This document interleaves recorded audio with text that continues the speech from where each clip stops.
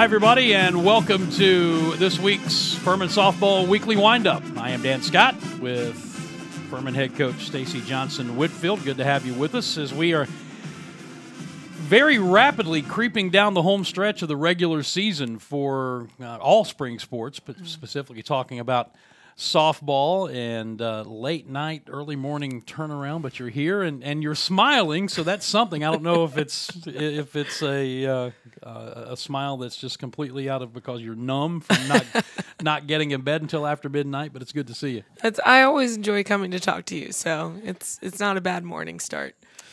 Coming off of a three and two week uh, in which you swept a doubleheader from Queens at home and, and then went to Samford and uh, lost a pair of one run games, but you're able to to have a nice rally uh, Yeah. in the seventh inning in game three yesterday to salvage a game, and that had to make that that long bus ride a little bit better coming back. Definitely made it better. I think any any any weekend right now that we can prove that we can beat any of the teams within the SoCon and at least come out with a win um, shows that when tournament time hits and it's down to one game to keep moving on to get to postseason, uh, gives you a little confidence that that it's possible.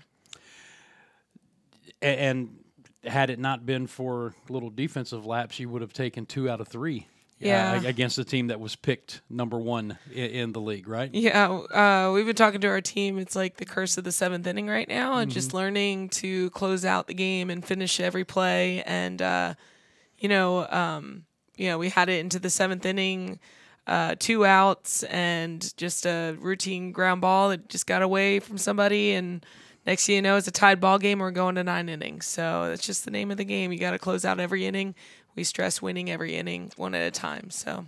But but again, I think it shows some resiliency that after dropping a pair of one-run games in the doubleheader on Saturday, you're able to bounce back a game that you're you're trailing going into your final at bat in the top of the seventh inning, and you put together a rally and come away with a six-four win. Yeah, and I mean that's what we stress too is just putting pressure on the defense, which we did.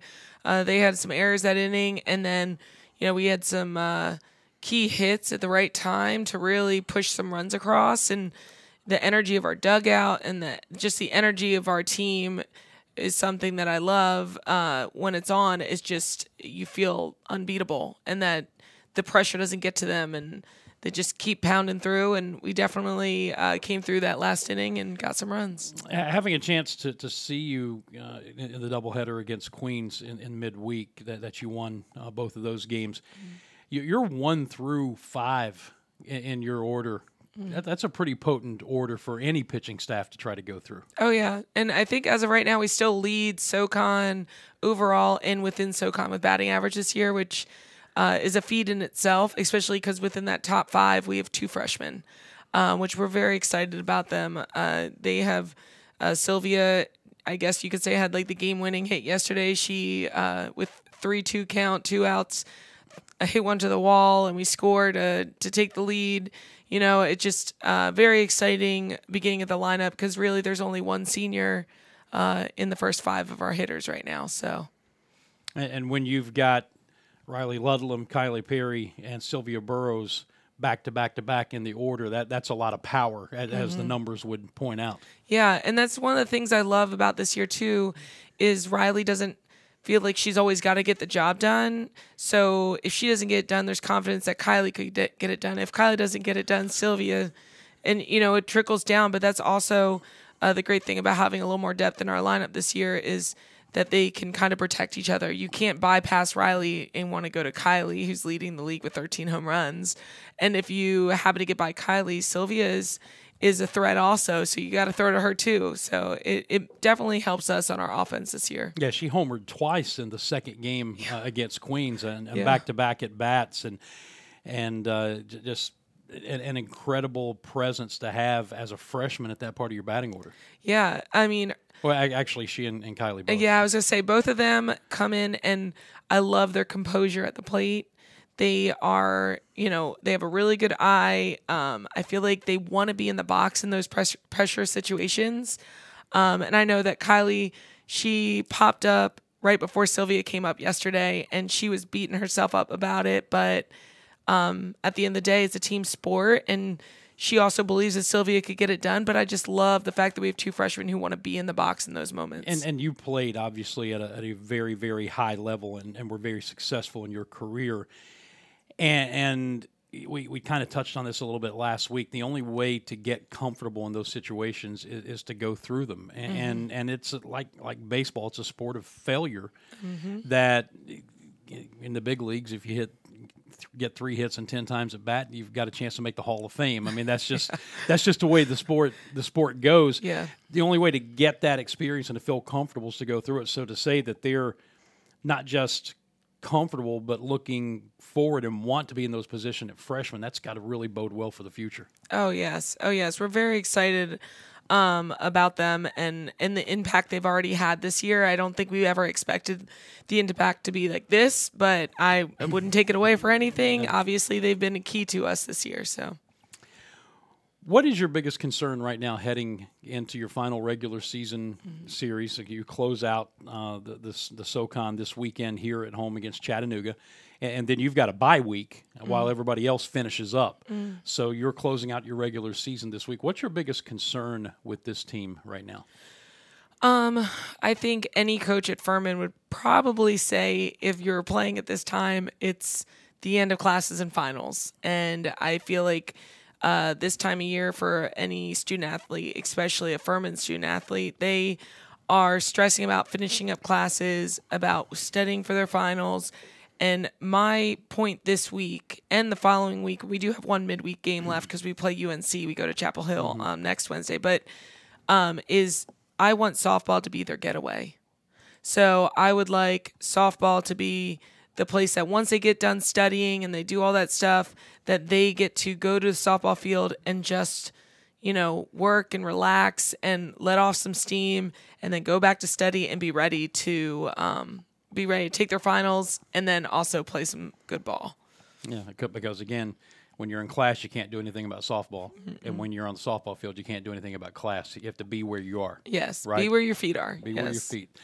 Um, the league right now coming down to the final two weeks of the regular season, one week for you, uh, it is the top three UNCG, Samford, and Furman mm. are all within about what with one within one, one game, game, of each, of other, each other. Basically, yeah. Samford's a half game behind UNCG, and you're a half game behind Samford, mm-hmm. or, or something along those yeah, lines. Yeah, yeah, it's very tight. Also, con is very tight this year, but yes, the three of us. Um, right now Samford uh, or UNCG has the only series they've lost has been to us, and so um, you're kind of hoping somebody else could take a series, uh, which would help things out. But um, we're all it's a very tight race within the SoCon this year, which I think I stated before in one of the shows. It's it could be anybody's game at any time, um, but but we only have one more weekend for us, and then mm-hmm. we're kind of watching that last weekend to see what happens. So. And, what's interesting, and, and it, it gets back to the importance of being able to get that doubleheader in against UNCG mm. because you won both of those games and not having an equal amount of games, you go to winning percentage, mm-hmm. and, and, that can either help you or hurt you. But because you won both of those games, potentially it could help you mm-hmm. in a tie breaking standpoint coming down the stretch. Yes, yes, it, it could. I mean, right now, I think our focus is more on uh, finishing out next weekend within that top three, getting a really good seed for tournament. Mm-hmm. You know, I think that's that's what our goal is right now. And, and, as we were discussing before we went on the air, we know that the Southern Conference is a one bid league, so. Mm-hmm. The, the tournament is obviously the thing that matters the most. Yeah, yeah. I mean, we always stress the girls preseasons for learning. Of course, you want the wins. When we start SoCon, our goal is to win SoCon all the time. That was their goal they set in the beginning of the year. But at the end of the day, if that doesn't happen, tournament is most important, and you win tournament and you get postseason. So uh, a lot of people hearing you say that would take a look if if they follow the program and what it's been through and the circumstances you came in last year. Mm. They would say that setting the goal to be the Southern Conference regular season champions with this group at this moment in your tenure here would be an unreasonable goal. Obviously, mm-hmm. it's not been. Why would those people have been wrong? What is it about this team that you felt at the beginning of the year you had a chance to win a regular season championship? I think uh, one, we had a lot of returning players, and I knew the strength of the new players that we were getting in. Mm-hmm. Um, but you know, we didn't necessarily set that goal as coaches. You know, when we were having our team meetings at the beginning of the fall, one of the first things that we said, or I said to them, I said, "What what's your team's goal this year? What is our goal for this year?" And right away, everybody said, "We want to be SoCon champions," and we kind of expected that, so we prepared uh, what we called championship numbers for the season, and we compared them to last year's numbers, and we told them, "Okay, everybody's going to say, you know, you ask anybody, what do you want to do? I want to win championships." We wanted to make it realistic, so very early on, we said, okay, this is what it's going to take. These were championship numbers of the team that won SoCon or won the tournament last year, right? So we compared it. We said, you need this many less errors this year. You need to hit this much as a team. Our ERA has to be below this. These are the championship numbers. If we beat those numbers, we have a very good chance of actually winning the SoCon um, or winning the tournament or both. So I think when we set those goals early on and they they could see it on paper what it would actually take instead of just throwing out there we want to be SoCon champions. I think it helped them realize it and see it better. And then as we started practicing and we started getting better and they saw the additions added in to the team that we had from last year, I think all of a sudden I've seen them write it in places it was like why not us?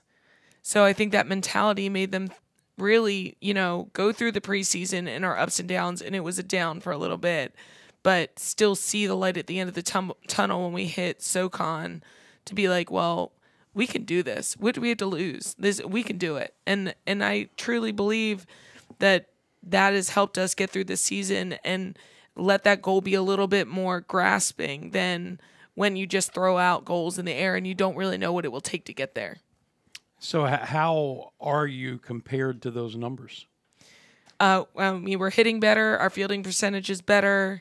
Um, ERA, I think, is not necessarily uh, quite there in general for the staff. Um, but I think almost we've improved at least in four or five of those areas, which shows, I mean, with with where we're at right now in the SoCon, that those improvements have helped. And, there's one area that no statistical category, no advanced metrics can measure, and that's belief. Mm-hmm. That is very true. I'm a big I'm a big believer in the fact that if you mentally see it happening, like if you picture it and you can see what it takes and you know the work to put in, you're willing to put the work in. I mean, anything can happen and I feel like this team sees that and it's just going to take a little bit of time to get there. This is the uh, Furman softball weekly windup with uh, head coach Stacy Johnson Whitfield. Three and two last week, twenty and twenty six overall, eight and six in the SoCon, uh, sitting in third place, but just a game out of first.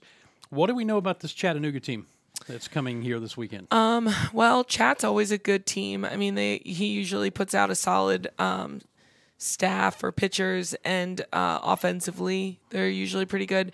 Um, I think statistically within the league, their pitching staff has the lowest ERA. Um, but I feel as if we play the defense. Um, they have some fast slappers that if we can keep them off the bases, if we keep hitting the ball, um, we could definitely come out with two wins this weekend. But I think I feel like that every weekend if we play our game. Right. So we might as well just come out with three, right? yeah, I mean, I'll take three too. Before we wrap it up, we're recording this on Monday morning, and, and it'll drop late Monday morning. Tomorrow, Tuesday, the 25th, is Dins Day. So, for the people who will see this before or during Dins Day on Tuesday, um, it has become a big thing uh, on this campus. Uh, I think every college around the, the country now has this, this specific day that they do uh, a, a day to raise money for the athletic department. What does Dins Day mean to you? I know we talked about it a little bit last week. Um, what, what does it mean to the program? How can fans really impact your program by donating? Well, I mean, I feel like right now any any donation, any help is help for us. Right. Um, you know, um, overall it it helps with the from facilities to food to uniforms to just the experience that we want Furman softball to have or any student athlete to have. Um, so we would take any help as at all. But I know today we had our we had a meeting with our captains and they talked to the team. They've come up with some challenges. Um, so there's one hour that's bombarded with a bunch of different challenges that they all came up with. So it's like the student athlete power hour of uh, some are dealing with uh, hot dogs they eat, some are dealing with pies in the face. It should be a lot of fun. Um, so they'll be making videos and we'll be posting that um, today and tomorrow. But like I said before, we're just we just want people we want to put softball on the map. We want people to notice us. And I think that's important right now and notice what we're trying to bring to this program, what the girls bring to this program and to the university.